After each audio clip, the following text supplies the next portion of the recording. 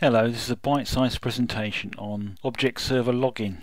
The Object Server logs three types of logs by default. Internal logging, Profiler logging, Trigger Statistics logging.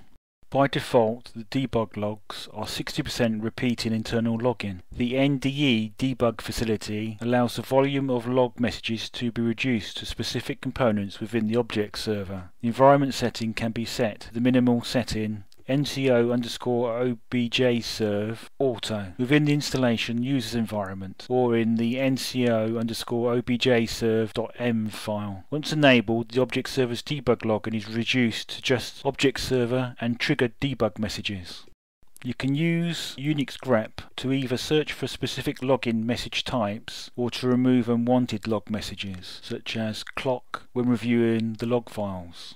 The Profiler logging needs to be enabled as it is disabled by default.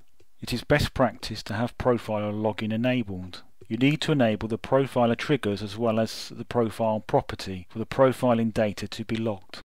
Once enabled, the details of clients connected to the object server are logged, both as individual connections and grouped by type. The overall profiler usage is logged as a total per IDUC period, which is 60 seconds by default. The profiler timings are based on a single CPU. Therefore, multiple CPU systems may show what appears to be excessive profiler reports. However, the profiler usage detail should be reviewed with normal usage in mind.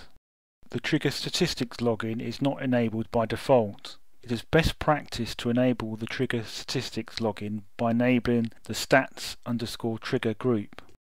The trigger log shows each trigger's usage ordered by the trigger group, as recorded within the IDUC period. The total time used by all of the triggers is given as a summary line. This makes it easier to spot unusual usage. The object server gateways have a number of properties to control logging behavior. Log files are only 1 megabyte by default, and named according to the gateway's given name. Only the mapping debug logging is enabled by default. You can enable debug logging for open clients, reader and writer SQL logging. You can use the unique log property to capture logs where the gateway exits suddenly and is being restarted by process control. Under normal circumstances, the most useful messages can be seen using message level info.